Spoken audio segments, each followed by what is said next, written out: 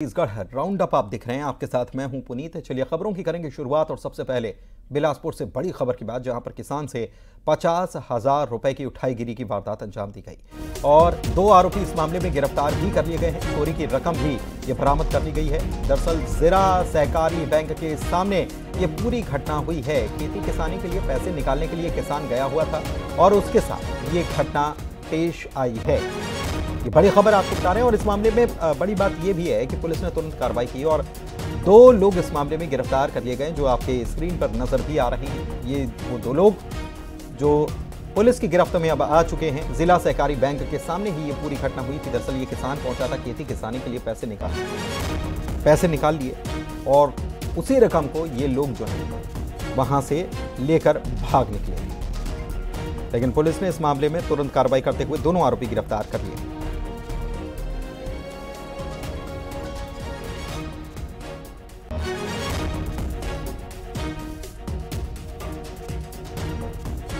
उमेश मौर्य हमारे संवाददाता phone line पर जुड़े हुए हैं। उमेश, कैसे इन्होंने वारदात अंजाम दी और कैसे कामयाबी पुलिस को मिली? देखिए एक किसान था जो खेती किसानी के लिए अपने जो जिला सहकारी बैंक होता है, वहाँ पर बिल्हा में पहुँचा हुआ था और पचास हज़ार रुपए निकाले थे। इसी दौरान ये देखा गया कि इसके जो थैला रखा हुआ था उसमें से कुछ पैसे जो रकम है वो चोरी हो गए थे जिसकी इसने शिकायत थाने में की थी। अब इस पूरे मामले को लेकर जो बिल्हा पुलिस है वो अलग अलग एंगलों से जाँच कर रही थी। इसके अलावा जो सीसीटीवी कैमरे लगे थे उनसे तलाशी ली जा रही थी। वहीं सीसीटीवी से कुछ सुराग मिले थे जिसके बाद पुलिस ने इन चोरों तक पहुँचा और दोनों चोरों को हिरासत में लेकर कड़ाई से पूछताछ की जिसके बाद उन्होंने अपना जुर्म जो है वो कबूल कर लिया और उसके साथ ही जो चोरी के जो चेक बुक था आधार कार्ड था पेन कार्ड था इसके बहुत धन्यवाद आपका इस जानकारी के लिए। खबर कोरबा से जहाँ पर बीच चौराहे पर महिला ने जमकर हंगामा किया। महिला युवक को मारने के लिए हाथ में पेचकस लेकर दौड़ दी दौड़ गई। इस दौरान युवक का महिला से जान बचाकर भागता रहा। यह सारा विवाद अटल आवास के मकान में कब्जे को लेकर दो पक्षों के बीच हुआ। महिला और मकान मालिक के बीच विवाद चल रहा है। मकान पर कब्जा पाने के लिए महिला मकान मालिक की दुकान पहुँच गई और बीच चौराहे पर जमकर हंगामा किया।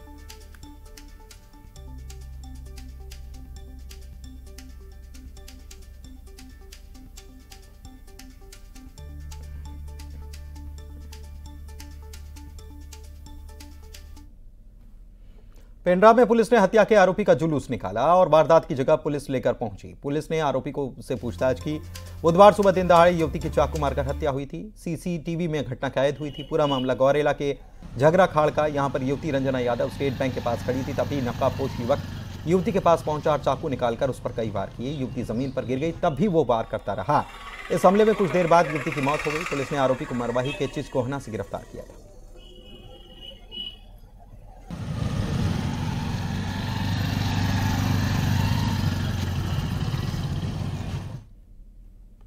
कोरबा से खबर, ऑनलाइन सट्टे पर कार्रवाई करते हुए वर्ल्ड कप फाइनल से पहले बड़ी कार्रवाई की गई है। ऑनलाइन सट्टा खिलाने वाले पाँच आरोपी गिरफ़्तार कर लिए गए हैं। कोरबा से एक और अंबिकापुर से चार गिरफ़्तार हुए हैं। दो लैपटॉप इक्कीस मोबाइल फ़ोन, छब्बीस सिम जब्त की गई हैं। कुल पचासी बैंक खातों की जानकारी मिली। अलग अलग बैंकों में पचासी खाते होल्ड कर दिए गए। टी ट्वेंटी वर्ल्ड कप के फाइनल से पहले ऑनलाइन सट्टे पे कार्रवाई की गई है। इसमें हमने पाँच लोगों को गिरफ़्तार किया है। एक व्यक्ति को कोरबा से और चार लोगों को अंबिकापुर से इसमें गिरफ़्तार किया गया है। इनके पास से दो लैपटॉप, इक्कीस मोबाइल, छब्बीस सिम, चालीस चेकबुक और seventy three A T M cards बरामद किए गए हैं। इन पिचासी खातों में से चौंतीस खातों की जो अमाउंट था उसको फ्रीज कराया गया है। इसमें अभी तक लगभग सात लाख रुपए को फ्रीज करा दिया गया है और इस केस में अभी भी बीजापुर में सात नक्सली गिरफ़्तार किए गए और एक एक लाख के इनामी नक्सली गिरफ़्तार किए गए हैं। जनताना सरकार अध्यक्ष समेत सात गिरफ़्तार हुए हैं। बीजापुर पुलिस को बड़ी कामयाबी मिली। लाल आतंक पर पुलिस ने शिकंजा कसा। बहरमगढ़ और डीआरजी की कार्रवाई है। अलग अलग स्थानों से गिरफ्तारी की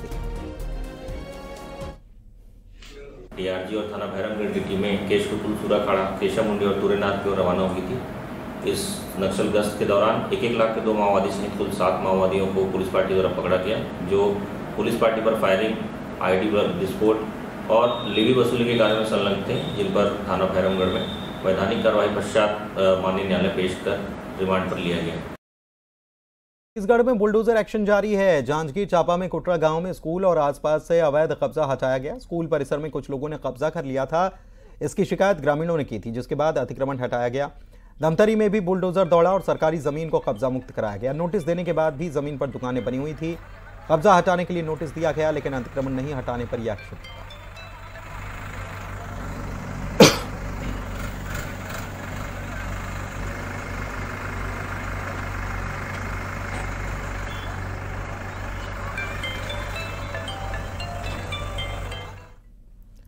इधर जांजगीर चांपा में पटवारी का रिश्वत मांगते हुए वीडियो वायरल हुआ। पटवारी का नाम पदुम लाल भगत बताया जा रहा है। आरोप है कि राशन कार्ड में साइन के लिए पटवारी ने तीन सौ रुपए रिश्वत मांगी। थी वीडियो में पटवारी ने कहा कि मेरे साइन से ज़िंदगी भर राशन खाओगे, तीन सौ रुपए देने में क्या तकलीफ़ है?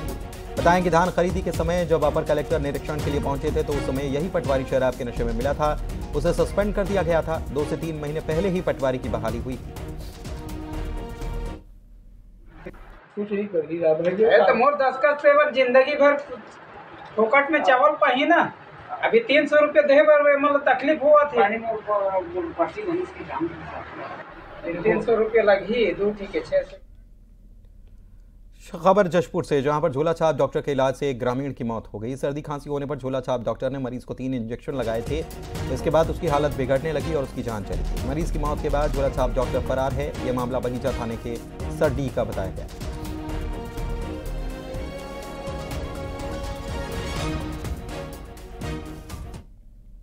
रहने वाला पैंसठ वर्षीय व्यक्ति नैहर साय का कल तबियत अचानक खराब हो गया, जिस पर उनके परिजन के द्वारा कृष्णा बंगाली नामक डॉक्टर को घर बुलाया गया और उनके द्वारा उनके ट्रीटमेंट का इंजेक्शन लगाया गया, जिससे उनकी तबीयत और ज़्यादा खराब हो गई। जिसे उपचार करने के लिए बगीचा शासकीय अस्पताल भर्ती कराया गया, जहाँ पर उनकी मौत हो गई है।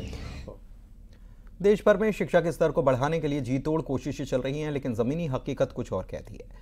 बलौदाबाजार के कसडोल में प्राथमिक शाला का हाल बेहाल है। स्कूल की छत नहीं होने की वजह से स्कूल में पढ़ने वाले छात्रों के सामने पढ़ाई को लेकर बड़ी समस्या है। यहाँ पर हैरान करने वाली बात तो ये है कि साल भर पहले स्कूल की छत को मरम्मत के नाम पर ठेकेदार ने तोड़ दिया था और और छत को तोड़ने के बाद उसे वैसा ही छोड़ दिया गया। आलम यह कि स्कूल के दो कमरों में ही कक्षा एक से लेकर आठवीं तक की कक्षाएँ संचालित हो रही हैं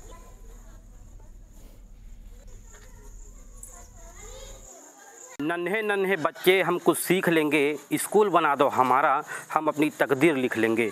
देख सकते हैं ये है शासकीय उच्चतर प्राथमिक शाला फुरफुंदी और आज पूरे प्रदेश में शाला प्रवोत्सव नए शिक्षा सत्र की शुरुआत हो रही है।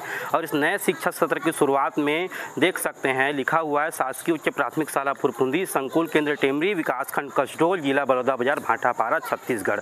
ये मिडिल स्कूल की कक्षाएँ यहाँ लगती थी, छठवीं, सातवीं, आठवीं। दो साल हो गए इस भवन को अधिकारियों द्वारा आदेश मिलने पर ठेकेदार द्वारा तोड़ा गया, लेकिन अब तक ये भवन जर्जर पे जर्जर बनी हुई है और नन्हे नन्हे बच्चे नए शिक्षण सत्र की शुरुआत के लिए आज स्कूल पहुँचे थे कि हम अपने स्कूल में पढ़ेंगे, लेकिन इस साल भी उनको उसी कक्षा में पढ़ना पड़ेगा, जहाँ एक ही एक ही क्लासरूम में कई कक्षाएँ लगती हैं।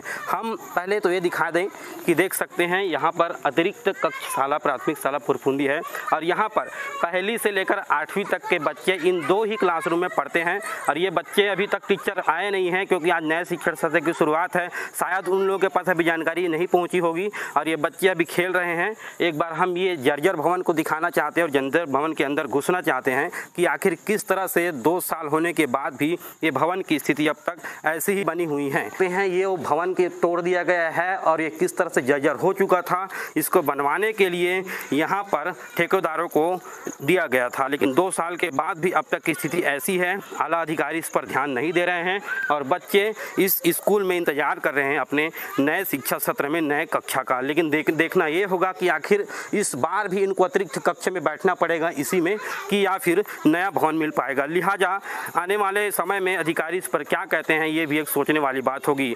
योगेश यादव, न्यूज़ एटीन बलौदा बाज़ार बलरामपुर में 45 शिक्षकों पर एक्शन हुआ है। स्कूल से नदारद रहने पर यह कार्रवाई की गई है। नया शिक्षक सत्र जो है, वो शुरू होते ही ये गाजगिरी है। विकासखंड शिक्षा अधिकारी ने एक दिन का वेतन इनका काटा है। जिला शिक्षा अधिकारी के निर्देश पर यह एक्शन लिया गया है।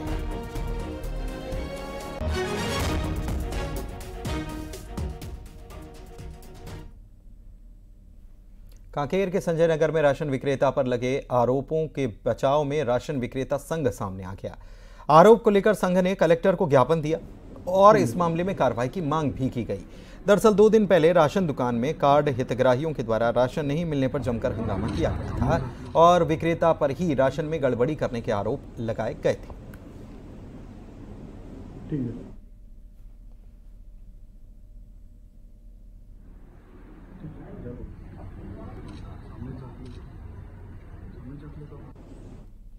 ये सब सरासर झूठ है। मेरे द्वारा संपूर्ण तरह से वितरण किया जा चुका है। मैं सर्वप्रथम फिंगर लगवाया रजिस्टर में एंट्री किया, साइन किया, राशन कार्ड में एंट्री किया, साइन करवाया, उसके बाद वितरण किया हूँ मैं।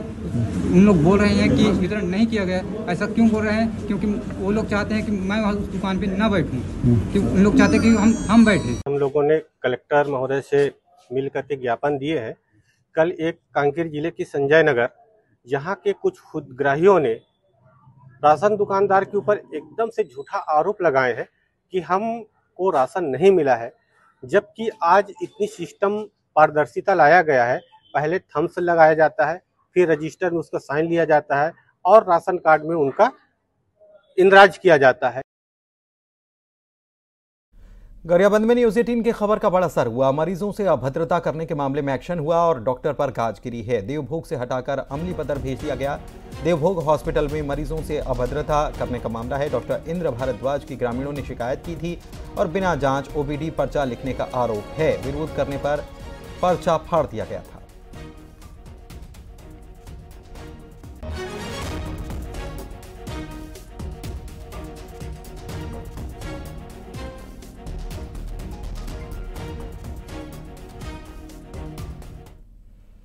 कोरबा में अब कोई भी जरूरतमंद गरीब और मानसिक रूप से अस्वस्थ इंसान भूखा नहीं रहेगा। ऊर्जाधानी में रोटी बैंक से हर गरीब की भूख मिटाई जा रही है। शहर में Chhattisgarh help welfare society roti bank सेवा चला रही है। इस काम में सहयोग के लिए कोसाबाड़ी से लेकर सीतामढ़ी तक के अस्सी परिवार के लोग जुड़े हुए हैं। सहयोगी परिवार की महिलाएँ हर दिन दोनों समय स्वभाव स्वाभाविक रूप से रोटी, चावल और सब्ज़ी बनाकर संस्था को ज़रूरतमंदों तक पहुँचाने के लिए देती हैं। इसके साथ ही संस्था के लोगों ने अपना घर, सेवा आश्रम भी खोल रखा है, जिसमें ऐसे लोगों का इलाज किया जाता है। सेवा दे रही महिलाओं का कहना है कि मानव सेवा ही सबसे बड़ी सेवा होती है।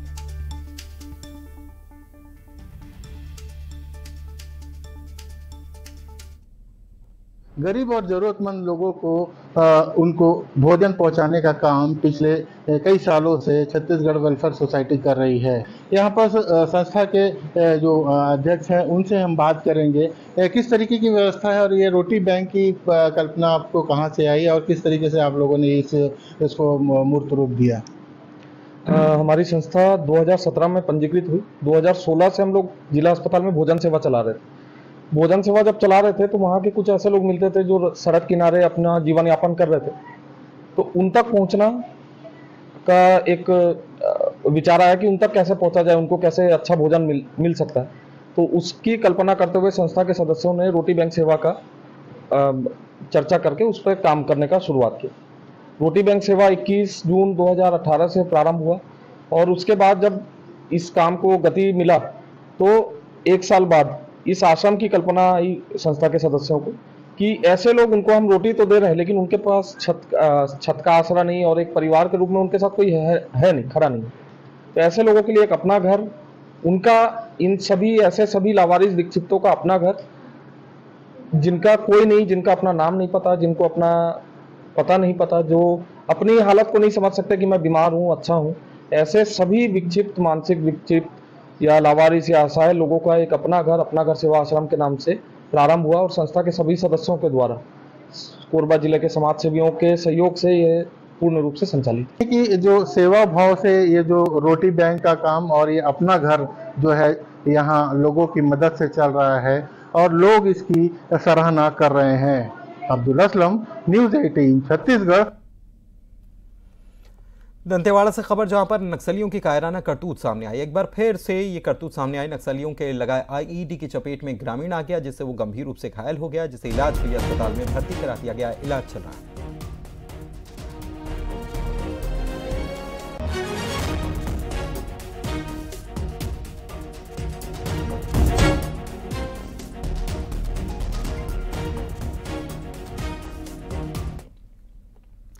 वहीं बस्तर में रेत माफिया को कानून का कोई डर नहीं, एनजीटी के आदेश के बावजूद ज़िले में रेत खनन धड़ल्ले से चल रहा है। जेसीबी और बड़ी गाड़ियों से नदी से अवैध रूप से रेत निकाली जा रही है। रेत तस्करों ने इंद्रावती नदी के किनारे हज़ारों टन रेत का स्टॉक जमा कर रखा है। बारिश में इस रेत को ज़्यादा दामों पर बेचा जाएगा। लोगों ने खनिज विभाग और रेत माफिया पर साठ गांठ का आरोप लगाया। हालाँकि बस्तर कलेक्टर ने मामले में कार्रवाई करने के निर्देश पहले भी दिए थे और अब भी दिए हैं।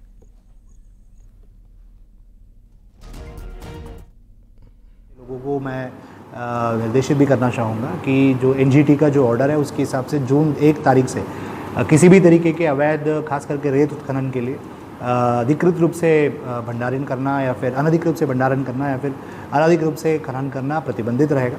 इसके बावजूद भी अगर कोई इस तरीके से पकड़ा जाए उसके खिलाफ जो एनजीटी के तहत जो कार्रवाई प्रस्तावित है वो किया जाए। सर बारिश के पहले रेत माफिया द्वारा अवैध तरीके से खदानों से रेत निकालकर उसको डंप किया जा रहा है, उसको भंडारण किया जा रहा है।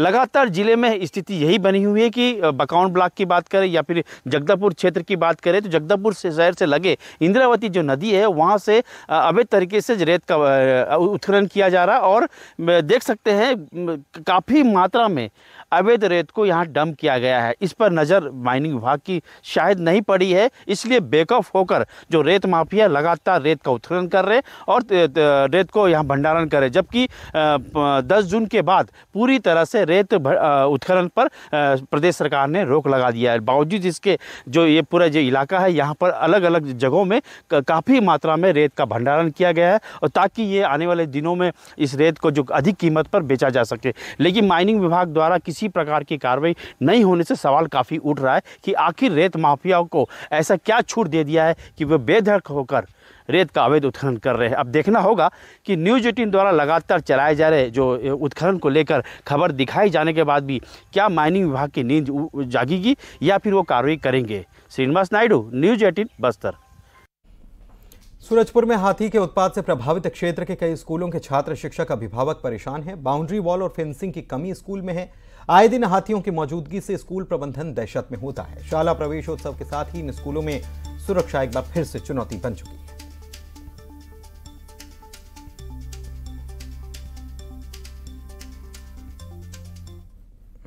ये तो दो तरह की तैयारी होती है। आ, पहला चीज़ तो जैसे हम लोगों को सूचना मिलती है तो हम लोग वन विभाग से सतत संपर्क करके यदि बच्चों को अलर्ट रखते हैं गार्जियन को अलर्ट रखते हैं। ज़रूरत पड़ता है तो स्कूल को हम लोग बंद भी करना पड़ता है। कभी कभी ऐसी स्थिति आ जाती है। और बाउंड्री वाल्स वहाँ पे लगभग तो जैसे प्रतापपुर का एरिया है, विशेषकर कोटिया, बगड़ा और गणेशपुर का क्षेत्र, वहाँ पे बाउंड्री वाल्स हैं। जहाँ पे नहीं हैं, वहाँ के लिए हम लोग प्रस्ताव भेजे हुए हैं शासन को। बस्तर में मानसून की दस्तक के साथ ही जमकर बद्रा बरसे हैं और झमाझम बारिश होने से मौसम खुशनुमा है। अब किसानों के चेहरे भी खिले खिले नज़र आ रहे हैं, वो खुश नज़र आ रहे हैं। बहुत लंबा इंतज़ार हो गया था। दिन भर की धूप के बाद शाम को बारिश होने से तापमान में गिरावट देखी गई। लोगों को भी उमस से राहत मिली।